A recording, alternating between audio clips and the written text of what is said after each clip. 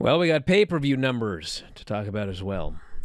Yeah, well, I mean, I was going through the WrestleMania numbers, and um, you know, it's it's um, they're ahead of last year, but um, um, I don't, I couldn't give like a good percentage, but they're ahead of last year because I don't have the two week number in, um, and the first week number we didn't get all the numbers in, but they're you know they're ahead. But the thing that um, jumped out the page at me was the Revolution number.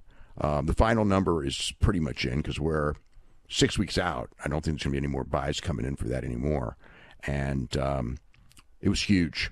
It was really, uh, it was the TV pay per view numbers were up 34% from uh, World's End. So that's much higher than the original estimates. And so they did great in late buys. And my gut is, is that uh, it's probably has to do with you know I mean that show was going to do well because it was the Sting retirement show. We knew that going in. We knew it would be one of the higher ones, and it will probably end up being the third highest in company history. Um, the key is is that um, it did great late buys, which would tell me two things. Number one, it's uh, you know good word of mouth on the show, and the other one that was kind of you know the the idea is is that the television audience is an older audience than the streaming audience. And the television audience being way up may be the fact that a lot of people, and, and being late, is that there's probably a lot of people who really weren't aware of Sting's retirement and found out later and probably just decided after the fact that, uh, you know, um, they wanted to see it, that there people checked out who checked in uh, for this show. And I don't expect those people to be back for uh, Sunday's show. But it will be interesting to see. I mean, this Sunday's number is really interesting because, you know, they're coming off of uh, two straight significant hits. I mean, the, the December show was a was a big success given the competition and given the expectations. The March show was expected to do great, but it probably overperformed. I think. I don't think most people expected to do as well as it did. And this one, you know, you do have. Um, I mean, the attendance has been up and down. I mean, there've been there've always been some small small crowds. TV ratings have been generally down, although, um, you know, obviously this last week was was generally good but um, we'll see about uh, tonight. I mean, a lot of people are going to look at tonight's number, um, you know, probably overreact to it, either good or bad. Uh, but the pay per view number is going to be interesting because it's there's nothing on the card that jumps out and tells me it's going to do great. Um, and just the fact that the matches themselves on paper, like it looks like a lot of really great wrestling matches. That's not necessarily a great lure. I mean, um, it's it's good. I mean, it's just not. There's never anything bad about great wrestling matches, but in and of itself alone, you know, that's not uh, that's not going to be your your difference maker. So, um, you know, it's going to be very interesting. You know, I mean, you don't have Sting, you don't have you don't have MJF, but uh, you got. I mean, you got. You know, it's this a card that could really be like one of the best wrestling shows of the year. You know, and you know super semifinal, and you got a you know Swerve and Samoa Joe going for the title, um, you know, which is. Uh, you know, it's, it's a logical match coming off of the last pay per view where they were the semifinal and in the three way, and they, you know, Swerve was the one who didn't get pinned, so it's a logical next step. And um, you know, we'll see. Could be a championship change too. You had a big article on the front page today with a lot of details about the new Marigold promotion. Mm-hmm. Yeah, the um, the first show, by the way, it, uh, sold out. Although that's not, um, I guess it's always a good sign when the first show sells out immediately. You know, tickets were just put on sale. But um, I mean, I expected that. You know, there's going to be the curiosity and everything like that. But um, yeah, I mean the uh, the big stuff is is that um, you know, I mean, a lot of talk about Giulia, a lot of talk about WWE and everything like that. And there's, um, you know, Levesque and, and uh, Rossy Ogawa did meet over WrestleMania week. And apparently there's something that's been, um, you know, worked out in the sense Giulia is going to, the expectation right now is that Giulia is going to work for both companies. Probably the hoped for start date is the July 7th show in Toronto for her in NXT. But then she would continue to work for. Um, she would continue to work in Japan for Marigold as their top star for a little while, however long I don't know, and then going forward, eventually she will, you know, move to Florida um, with her family, and then um, at that point, the hope is is that that she would continue to work the four big shows or however many it is. I mean the the the battle plan for Marigold is is four major shows a year in major arenas and then like monthly shows at Korakuen Hall which would be the big shows most month and then the months where they had the you know the four big months the Korakuen shows would probably be the angles leading up to the big shows.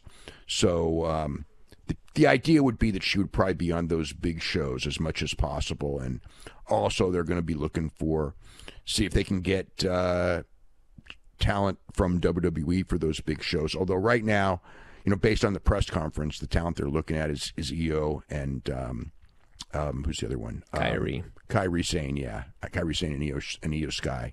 So, um, you know, just basically women that have already worked for the promotion in the past, as opposed to bringing in, you know, like a, a Becky Lynch or or Nia Jax or Rhea Ripley or whoever, you know, uh, Bayley or whoever. Although that could happen too, you know, and, and in time, it probably would be valuable for uh, Marigold if they could bring some of those women in for the big shows. It'd probably sp- spice up the shows because the one thing that they would do is, is they would have access, if they did that, to women that, uh, you know, none of the other companies would have access to. So it would be a feather in their cap because there's many, many women promotions there. And the key thing is is stardom, you know, which is obviously going to be their their rival, whether either side likes it or not. That's how it's going to work out, unless they, you know, I mean, when when at one point when they were talking, you know, when um, Rossy was going to quit and everything like that. I mean, Stardom and Rossy.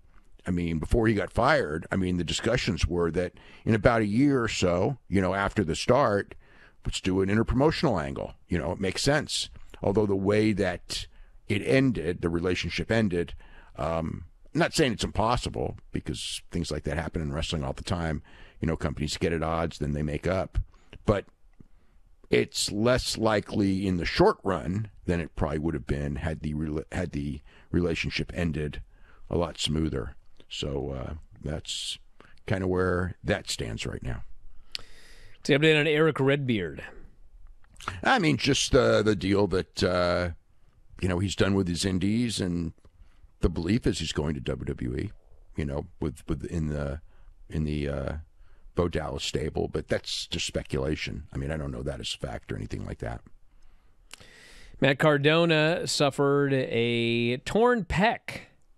Yeah. And is going to be out of action for quite some time. He was scheduled for WXW at the uh, Drive of Champions show June 1st, and uh, they announced that he was uh, not going to be there due to the injury, undergoing surgery, and uh, yeah, best best wishes to him. Coming off He's that match with uh, Adam Copeland, which everybody went nuts about. Yeah, he confirmed the surgery and everything like that, and basically said it wasn't the best time for an injury. Although no time is I was going to say No- there's no good time for an injury. no good time for an injury. But he had a lot of momentum right now.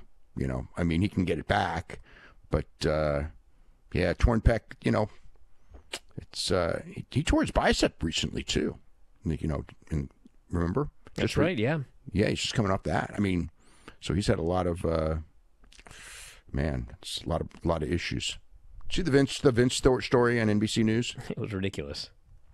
Yeah, it was it was it was interesting. I guess the thing that was he's like just he's not worried about nothing. He's just traveling and buying cats for people.